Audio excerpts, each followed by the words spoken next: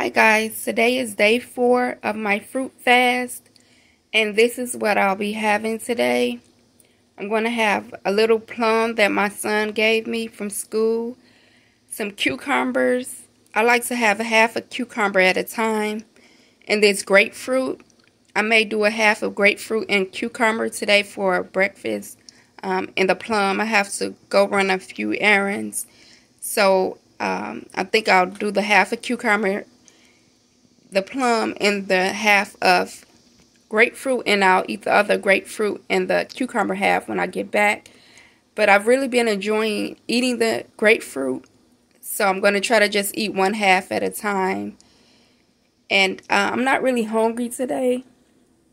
Uh, I don't have much of an appetite. So I figured this will be enough. I don't know. We'll see how it goes once I get back from running the errand. I may be hungry. I'm just a little hungry right now and I just want to go ahead and get my errand done in the morning.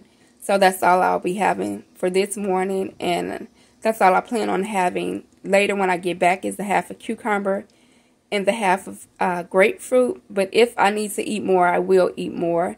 So this is my day four of the fruit fast, and this is what I'll be having, guys. I'll talk to you later.